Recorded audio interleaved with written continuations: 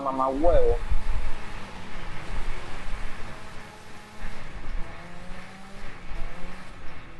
Le tengo buenas y malas noticias. ¿Qué pasó?